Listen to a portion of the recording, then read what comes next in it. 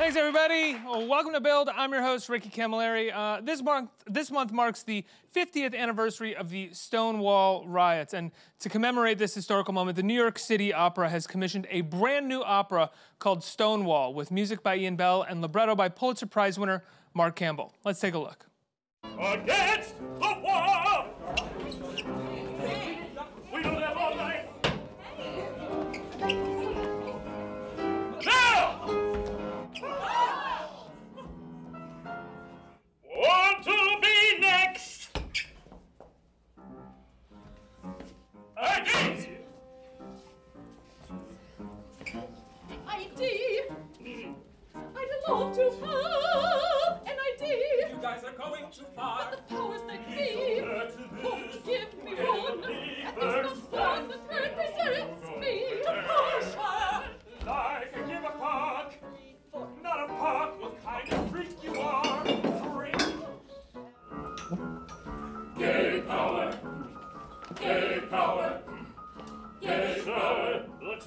Gay power out there. Gay power. Gay power. They'll go, they'll go. They always do. That business. Everybody, please put your hands together for Iain Bell and Mark Campbell. Let's hear Thank it. you. Hi there. Hi. Thank you so much for being here. Uh, my first question for you guys is uh, obviously you are about to open this Friday. What is it like watching that footage right now, knowing what you have on the stage and the costumes that you have and everything that's going to go into it?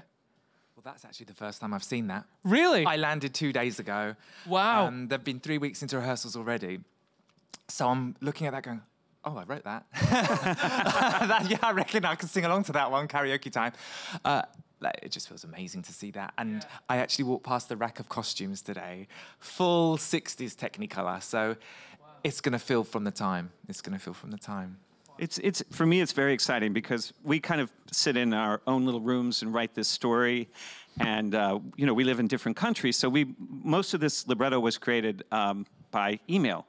I think all of it really. Mo- most of the opera was created by email, and so to see it realized by our stage director and our brilliant cast is just it's it's more exciting than you can imagine. How does that work doing this over email? Do you send music to him and then you write or vice versa? No, How no, does no. A lot of people think that I'm a librettist, and a lot of people think that that we come in and fill in words to what the composer has written. The story of an opera starts with the libretto, hmm. and so I finished the libretto, handed it to Iain, and then we work back and forth. I would get text messages or emails or something in the middle of the night saying, "Oh, could I have maybe three more words here?" And then he would play me some music, and it generally just made me cry because it was so beautiful. I hate to be asked such a naive question about opera, but starting with the libretto. Most that- of us are naive about opera. I still it- am. It's unfortunate though. It's a it's such a beautiful art form. Um, with the libretto and starting there, are you even thinking of melody at all, or are you just thinking about the story and about almost essentially like dialogue? Would be? I, I think of melody, but what I write in my head is far worse and, and really terrible compared to what Iain would come up with. I mean, that's why I'm a librettist and not a composer. Right. What kind of what kind of beats are you thinking of? Are you thinking in beats of any kind, or Listen, if, if you went into my head, what, what beats, what it would be like five eight seven eight three two four. I mean, like there's no, I don't. Uh, Those were very complex things he just suggested. Yeah, yeah, Those, those weren't your kind of normal march and a waltz. yeah, we can't. I never do four four in a Iain, libretto. what is it? How does it work for you? You get the libretto, and then how do you start composing? How do you? So think I was it? very lucky in that Mark sent me some like bits piecemeal, so I get a bit of a flavour. Because what was very important in the fashioning of this piece was that we had a cast of really distinct, diverse people who would have all you know, headed down to Stonewall at that time just to be uh, uh, being a place where they wouldn't be judged, where they'd be accepted. So I was getting all these little bits of text about these different personalities, a drag queen and a, a young homeless rent boy, and all these things, and already at that point, I was starting to get inspired by just a few sentences I'd read. So by the time I received it, I was reading this text and immediately knowing exactly the kind of orchestration I wanted for each of the different characters. You know, how do you orchestrate a drag queen? You know, that was one of the most fun things to even think about. Um, so I was inspired within seconds, within seconds of reading it.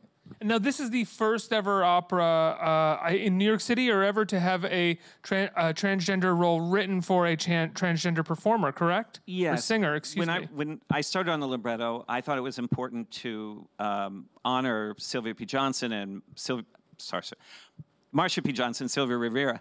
um, who were, were probably arrived at Stonewall a little bit late in that evening. Sometimes they're accredited with throwing the first rock. Um, but I thought it was important to um, honor transgender people in this story. But I thought it was also equally important that it be played by a transgender person. And Iain was totally on board with that right away. And um, we found one, you know, who sings the role beautifully. And it is the first um, opera by a major opera company to commission uh, a work that features a transgender role uh, sung by a transgender, written for a transgender person. Was that, uh, I mean, oftentimes when we talk about inclusion and we talk about writing roles for the people who can play them, oftentimes you hear creators or you hear the uh, upper, the higher power say, well, it's just too hard to find these people. They don't exist. Was it hard for you in any way to find a transgender opera singer? It's, it's difficult. Um, I wrote an opera called As One, which was actually written for two cisgender performers. So I've been very aware of this uh, for a couple of years. Uh, it's not easy because um, the training for transgender singers is way behind the curve right now. It's just catching up. We're just starting to understand how the voice can be adapted when the gender changes. Wow. I'm sorry, when the gender is realized. Yes. Uh, wow. I- I'm wondering, uh, but it's also the opera community is fairly small, I would imagine, as well. I'm assuming it's not that easy to find performers of all different stripes and sizes all the time, is it? Um, I, I'm of the mind that you just do a little work and it is easy. Um, I, we have a role, um, Carlos uh, is a Dominican school teacher um, who's just been fired from his job for being gay. And I It's a said, character. yeah, a character, sorry. And I said, we need to find a Latin performer to do this. I mean, it's, it's not that hard. Um, and, and I have to say, when I went into the rehearsal room for the first time and saw our full cast and our course, it made me very happy. Usually, when I write an opera and I go into the rehearsal, there are a lot of white people there. Yeah. Um, in this case, it's, it's full rainbow.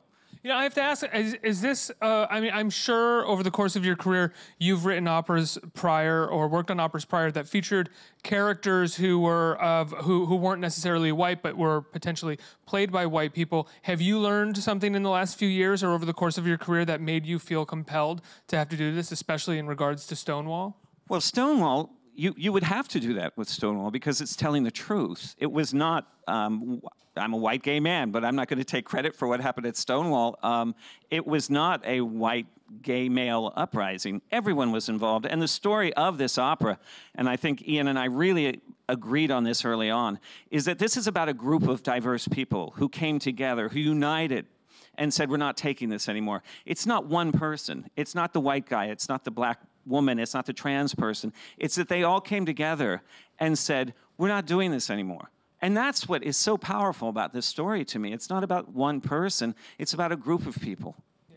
And how do you how do you adapt that into music? You take his libretto and then you write the music. How do you make something that is I imagine at one at one point classically opera and feels very much like an opera, but also feels like contextualized for this time period as well for an audience right now. Yeah, well, what I was really able to do was, although it is a, as you say, classical opera, we have a fully, um, a full symphonic orchestra in the pit. We have a full chorus of performers who are sung without a mic. But what I did really love doing in this piece was kind of giving a bit of a wink and a nod to music from the late 60s. So, although you are hearing a fully uh, acoustic orchestra playing, there are things that really sound like riffs. You know, we have real riffs, we have harmonic progressions. How do you define a riff? Well, a riff would be a, a short passage of music, generally in the bass or in the lower section of the orchestra. Like a guitar riff. Like a guitar riff. Or a bass, yeah. You know, that kind of, you know, something that, a groove, a groove. So we have for Renata, the drag queen, as she's getting ready for her debutante night out, we have some real grooving. Um, I love talking to an opera man about rock music because it's like a riff, a groove. A groove, oh yes, and A sharp major. no, we, we, I was really able to kind of run with that, and in a way that I wouldn't normally be able to, in a way that wouldn't normally be contextually acceptable. Um, and also, we hear chord progressions, so you know the harmonies. In this are more referencing what you would have heard harmonically at the time. So there are lots of references to music from the time, but still with my own kind of sound. So that was, that was a joy. Now you uh, you referenced that uh, Marsha P. Johnson and Sylvia, like whether or not they threw the brick. You know, it's obviously stuff like that is ambiguous, and people are debating it all the time. When it comes to that, when it comes to the moment in time in your Stonewall when you're writing it, how do you give equal uh, weight to everybody who was there, while at the same time not. I mean, there has to be a catalyst in that moment. So, how do you give equal weight to people who believe different things about the about the there, night? There is a catalyst, and it is a butch lesbian named Maggie who throws the first punch.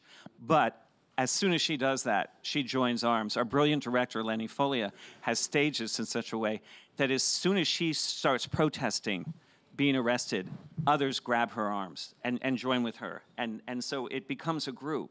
Um, I- you know, this is not a docu-opera. This is, this is not a Is that a reenact. thing? Uh, no, it's not Okay. that I know of. I just made it up. Um, but it's it's not a reenactment of Stonewall. We're not doing that. It is a story that we have created, music and text, that imagines the spirit of Stonewall and imagines what was going on that night that led to all of these people banding together and fighting against oppression. It's um, I don't even mention the name Stonewall in the libretto at all. We don't we don't even mention the word Stonewall Why is that? Because I didn't feel it was necessary. Everyone knows what club this is. And I think if you do that, it becomes uh, uh, like specific to a time that we don't, then it becomes a docu opera and it raises um, expectations for an audience. And also, people don't sit inside the bar that they're in, naming That's the bar right. that they're in over and You- over and over again. Or do you say, oh, I need to dance tonight. I'm going to Stonewall. You say, I'm going to my favorite club and I can't wait to hear that jukebox. So was there? I mean, when, when we're talking about this and we're talking about it not being a a, a docu opera, which I just love the idea of now, uh, did you still feel a sort of a, a lot of pressure when it came to telling this? It's 50 year anniversary, telling the story of Stonewall. It was a duty to tell what not may may not be the historical truth, but the lived truth. So everything that we see our characters going through as they're making their way, all ten of them, gets woven like a tapestry as they're making their way to Stonewall. Everything they went through is something that people at that time went through, and I think that was what we were really, really keen on showing. This an idea of a lived truth rather than an historical truth, because these things happen and still happen. How do you define uh, a lived truth? Just out of curiosity. Well, it's, that would be something. So, for instance, th- this piece opens uh, with Maggie, the character he just mentioned, get, getting abuse held at her in, on public transport. Two weeks ago in London, a lesbian couple Yep. was beaten up for not kissing in front of a group of straight men. That's a this happened. Although obviously this happened two weeks ago. We started writing the opera 18 months ago. These are the kind of things that are happening to our community then and now. And that's, I think, gives us license to tell this story in this guise. I, I, I think the sad part of this story is that we're still fighting these fights. Um, look at what um, the current Orange administration is doing to transgender rights right now. They're eviscerating. He, I, I can't even say that he's doing it because I don't think that he even knows what he's doing. But his government is eviscerating transgender rights. It's, it's really horrible. And I'm worried that marriage equality will be next. Both Iain and I are married to men, very happily married.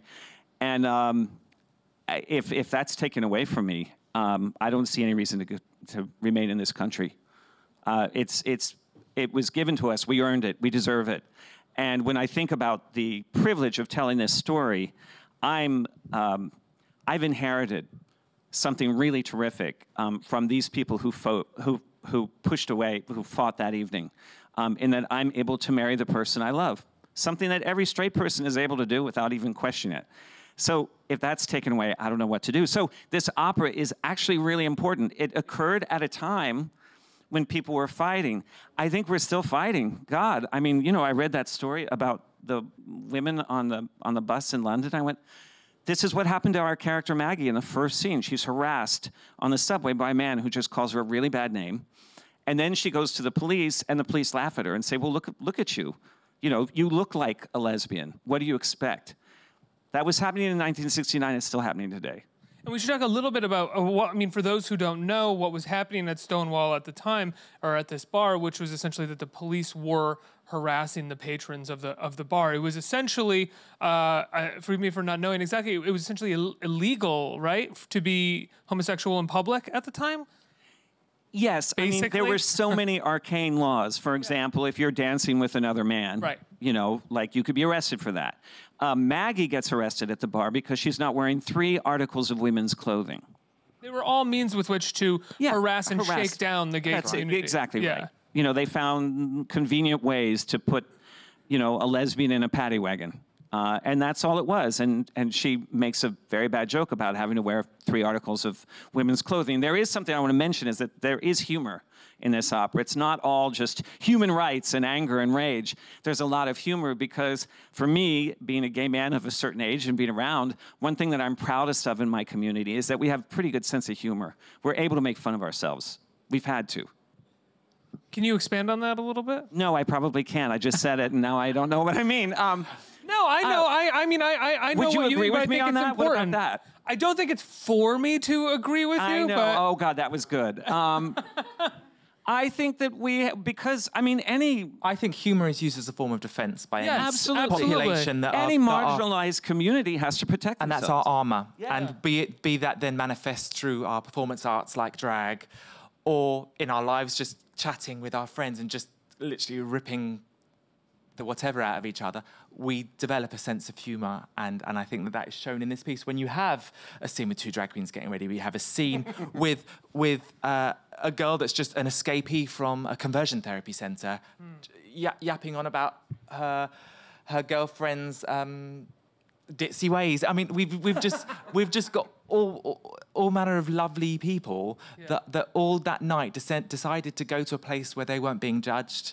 The water wasn't running. The the, the, the glasses were washed in kind of a a, a, a Tub. a tub of dirty water. This wasn't a place we want to go. It wasn't an aspirational place, but it was a place where they could go and be themselves. And and that's what we have in this. And and that sense of, oh, I can release, I can just relax and be me is what pervades the first act particularly. was it tough to inject humor into the story as well, or did you find that that came quite naturally? that's just that's what I do. I mean, like I I I love these characters so much, and for me to to love a character, I have to find their sense of humor um, and what they can find in themselves that's funny. Uh, I don't think it's possible to really love another human being or another character without knowing that they have a sense of humor about themselves. Yeah, especially when it comes to drama. And I think it's very important for this story because it could come off as, as self-important and political dogma, um, unless there's just a human quality to these people. And there, and I, I love them all. I mean, the main, I, well, I don't love the police officers, um, but and and there's one closeted man named Edward that I'm not very fond of. Um, but um even Troy, in his own way, he's a go-go dancer. He's a club. yeah, extorting go-go yeah, dancer. Yeah, he's an extor. Poor guy is going to be wearing gold hot pants in Act Two. Yeah, Just that. and we found an opera singer with a body to do that. Um, um, it's uh, even him. I mean, like, mm, there's an element of survival in New York City at the time. I've been in. I've been a. Uh, I've lived in city over in this city over 40 years, and also mostly lived downtown. I mean, I've lived in the West Village or the East Village. I only live a few blocks away from Stonewall, so I just know these characters and I love them. That's all. I have a question coming in uh, from Twitter. It's, uh, hey guys, how do you mentally prepare before a show, especially a show that is this historic and powerful? Well, we don't know if it's historic and powerful yet, um, but. Uh, Well, it's historic. Or it's I guess so. Yeah, it is historically on many levels. Yeah. Um, Well, I think at, at, at alcohol. that point, for me, Once the show's up and that- going. not for him. At that point, our work's been done. I, I did my work six months ago, and I have to have faith that then that the performers that have been engaged to do their job do their job.